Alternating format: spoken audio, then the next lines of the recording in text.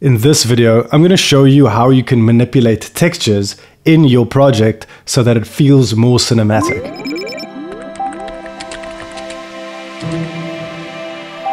This is going to be a pretty quick one. I want you to ignore all of this. I just pretty much pulled the power grade that I have and I did some stuff to get it to a certain point and then on the group level I did my look and I landed here. The thing I want to talk about is specifically textures. How you can look at creating a cinematic type of feel is tonal, so contrast, color, and textures. Now that I have the contrast and color where I want it, a cool way of pushing it even more into a cinematic type of feel rather than a digital is using something that's called edge detect. And I want you to look right here, especially her face. When I add edge detect and I blur out the edges, you'll see it has it's less of a digital feel. So it went from here, you can see the eyes and the lips especially, to here.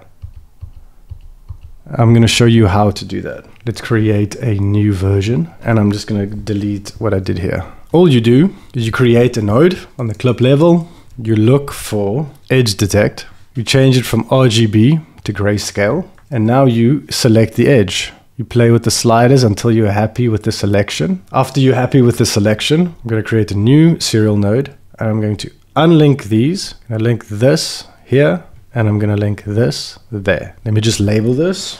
This node is using the selection from here. Now we can do whatever we want with the edges. And what I like to do is we blur them out. You go blur up, you see, you'll see it's a very subtle, very subtle type of effect.